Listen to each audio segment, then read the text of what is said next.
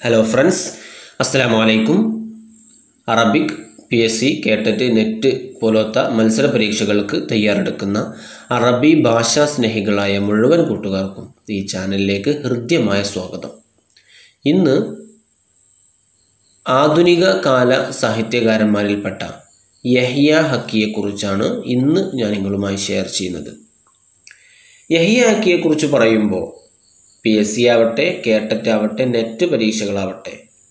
പല ചോദ്യപേപ്പറുകളിലും വളരെ കുറഞ്ഞ ചോദ്യങ്ങൾ മാത്രമേ അദ്ദേഹത്തെക്കുറിച്ച് ചോദിച്ചതായിട്ട് കണ്ടിട്ടുള്ളൂ.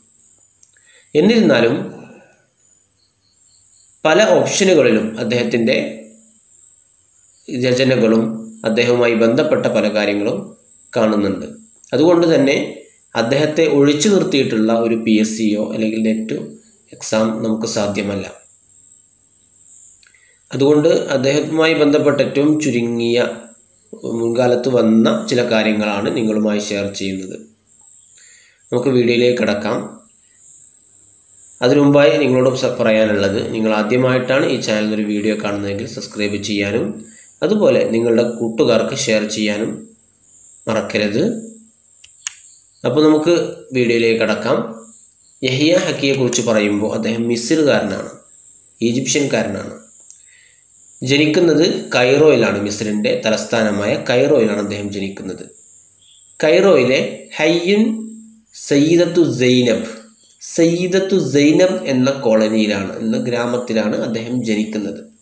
അപ്പം അത് കഴിഞ്ഞ വീഡിയോയിലൊക്കെ നമ്മൾ പറഞ്ഞിരുന്നു ഗ്രാമവുമായി ബന്ധപ്പെട്ട് പ്രത്യേകമായി ചോദിക്കാറുണ്ട് എന്നത്. അപ്പോൾ യഹിയ ഹക്കി സയ്യിദത്ത് സൈനബ് എന്ന ഹയ്യിലാണ് താമസിക്കുന്നത് ജീവിച്ചത് ഇതിൽ ജനിച്ചത്. അതുപോലെ അദ്ദേഹം ജനിക്കുന്നത് ആയിരത്തി തൊള്ളായിരത്തി അഞ്ചിലാണ് ജനിക്കുന്നത്. ഉമ്മ തുർക്കിയത്താണ് അദ്ദേഹത്തിന്റെ അസിൽ റോമാണ്. അദ്ദേഹം മരിക്കുന്നത് ആയിരത്തി തൊള്ളായിരത്തി തൊണ്ണൂറ്റി രണ്ടിലാണ് അദ്ദേഹത്തിന്റെ പിതാവിന്റെ പേര് ഒരിക്കൽ ചോദിച്ചതായി ശ്രദ്ധയിൽപ്പെട്ടതുകൊണ്ടാണ് അതിനിവിടെ രേഖപ്പെടുത്തിയിട്ടുള്ളത് ഇബ്രാഹിമുൽ ഹക്കി എന്നാണ് അദ്ദേഹത്തിന്റെ പിതാവിന്റെ പേര്. അദ്ദേഹം പഠിച്ചത് ദർസഫി മലിക്ക് ജാമി ഫുഹാദുൽ അവൽ ജാമി ഫുഹാദുൽ അവലാണ് അദ്ദേഹം പഠിച്ചിട്ടുള്ളത്.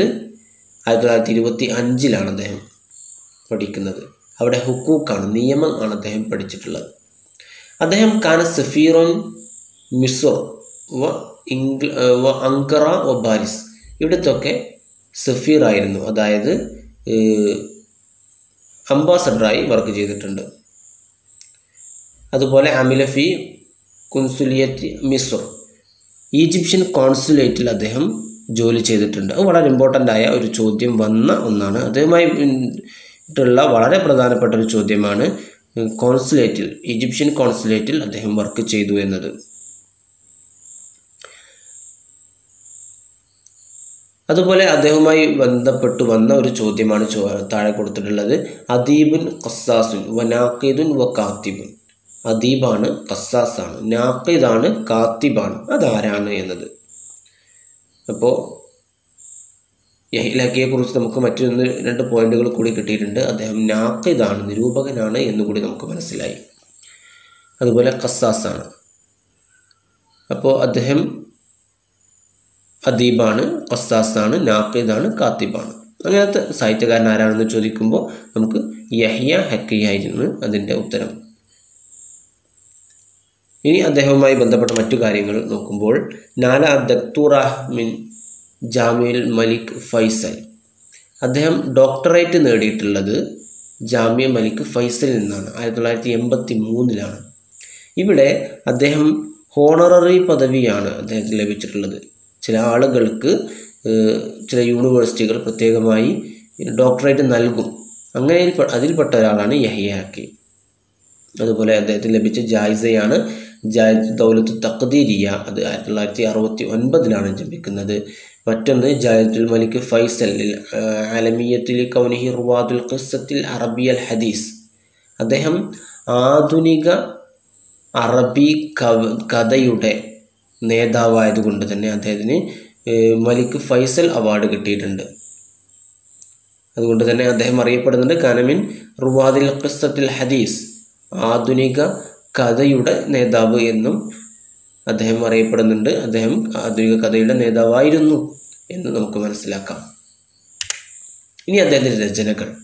അദ്ദേഹത്തിന്റെ രചനയുമായി ബന്ധപ്പെട്ട് ഏറ്റവും പ്രധാനമായി ചോദിക്കുന്ന ചോദ്യങ്ങളാണ് കന്തിയിൽ ഉമ്മു ഹിഷാം എന്നത്. അത് അദ്ദേഹത്തിന്റെ ഖിസ്സത്തുൽ ഖസീറ ഷോർട്ട് സ്റ്റോറിയാണ് അതുപോലെ ഫജറു ഖിസ്സത്തുൽ മിസ്രി ഇതും അദ്ദേഹവുമായി ബന്ധപ്പെട്ട് ചോദിച്ചതാണ്. പിന്നെ മറ്റൊന്നാണ് അദ്ദേഹത്തിന്റെ ചിന്തകളും ഒക്കെ പങ്കുവെക്കുന്ന ബൂസ്തി ബൂസ്തുജി എന്നത്. പിന്നെ ദിമാഗ് വക്തീന് അതുപോലെ സാരിക്കുൽ കഹ്ല് ഉമ്മുൽ അവാജിസ് ഇമ്രത്തു മുറജിൽ ഇതൊക്കെ അദ്ദേഹവുമായി ബന്ധപ്പെട്ട് മറ്റുള്ള രചനകളാണ്. ഈ അവസാനം പറഞ്ഞതൊക്കെ അദ്ദേഹവുമായി നേരിട്ട് ചോദിച്ചതല്ല. എന്നാലും പല ഓപ്ഷനുകളിലൊക്കെ കാണാൻ കണ്ടിട്ടുള്ളതാണ്. അതുകൊണ്ട് ഇമ്പോർട്ടന്റ് ആണ് എന്ന് മനസ്സിലാക്കി അതൊക്കെ മനസ്സിലാക്കി വെക്കുക. ഇൻഷാല്ല മറ്റൊരു വീഡിയോയിൽ നമുക്ക് കാണാം. അസ്സാം വലൈക്കും വാഹമത്തുള്ള